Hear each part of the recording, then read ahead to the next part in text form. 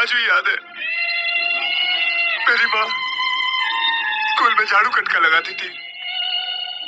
खुद भूखी सो जाती थी। मगर मेरा पेट भर देती थी। और मैं अपनी माँ को दुखी नहीं देख सकता। इसीलिए मैंने उसे झूठ बोलना शुरू कर दिया। और मैं क्या करता? उसे ये कह देता कि वो जो सपने देख रही है, वो सब बेकार है, फजूल है। ये कह दूँ उसको मैं मैं अपनी माँ को खुश देखना चाहता हूँ। उसके लिए मुझे पैसा चाहिए। और पैसे के लिए मैं कुछ भी कर सकता हूँ। किसी को भी धोखा दे सकता हूँ मैं। किसी को भी धोखा दे सकता हूँ। किसी को भी धोखा दे सकता हूँ मैं। किसी को भी धोखा दे सकता हूँ मैं। किसी को भी धोखा दे सकता हूँ। किसी को भी धोखा दे सकता हूँ। आज अगर तुमने मेरी माँ को सब कुछ सच सच बता दिया होता तो तो रात से पहले ही मर जाती।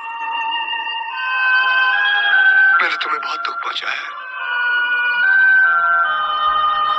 हो सके तो मुझे माफ़ कर देना आई एम sorry.